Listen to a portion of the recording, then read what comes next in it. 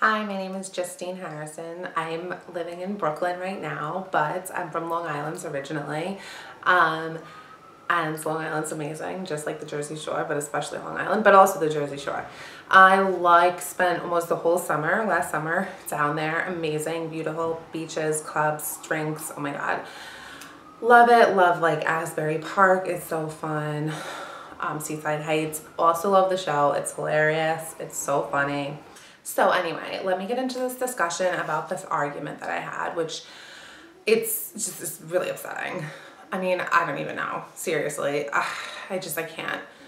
Basically, the situation was a few things. Well, this girl and I used to be like really close, like BFF friends, like out all the time together, getting our nails done, going to the, like, I don't know, meatpacking district in New York, like just always going out. We used to work together at this like clothing store, this little boutique, which had like really cool stuff. We loved it. Like it had just awesome shirts. Anyway, so that's how we met.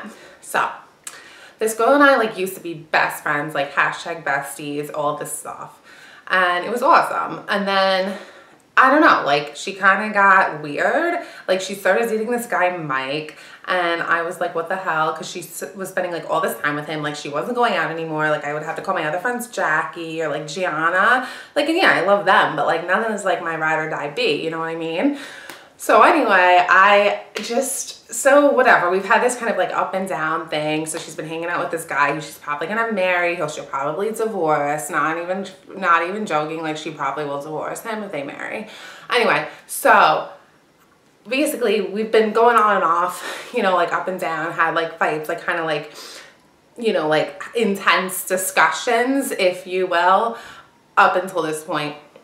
But then like two weeks ago, we went out with this other girl that we're friends with who's like like us sort of, but like not quite as like crazy and beautiful as us, but she's cool.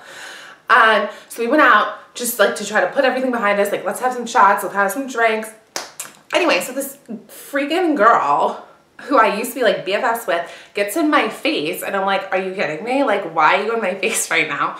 And then we're just like saying stuff to each other, but then we're like, we're just need to go home. The other girl, the other girl, that was the girl who was driving. So anyway, we tried to just like shush up in the car because why would we want to like distract the driver?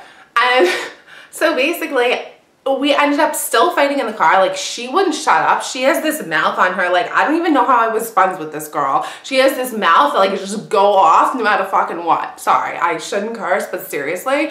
And then she she's just saying all this stuff. I'm saying like, I hope you and Mike get a divorce if you marry. And then she's like, your mother's a whore. And I was like, wait, I'm sorry, like no, because we're not at that point in the fight where you can just call my mother a whore. Are you kidding me? No. So then I'm like, are you kidding me? Like that's not even, that's like below the belt. That's below the belt. And then she pulls her, puts her hand, she's in the back seat, I'm in the front seat, because like, why wouldn't I be in the front seat? And she puts her hand like over the car thing, like over the head of the seat thing, and she pulls my hair. Like she pulls it. And the other girl who's driving is like, guys, stop, I'm driving, why? Why are you doing this? And I don't even know what, and she's pulling my hair and I'm like, are you kidding? like, I'm never gonna be friends with this girl again. So whatever, so the girl, so we get to my house, I like get out of the car, I'm like crying, like my makeup is running. And I just, it's just so upsetting, what happened? and then the other girl's like, you'll be okay, like, you'll be fine. She's like, I'm like, I'm like, I am never talking to her again. Like, I don't think you understand. I am never talking to her again. So in two weeks, we haven't talked, and I don't want to talk to that girl anymore because you know what? No, I can't even believe what I was thinking when I was friends with her. F that.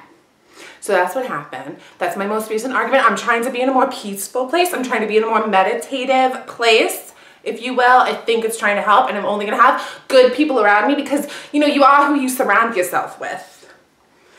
But thanks for letting me vent.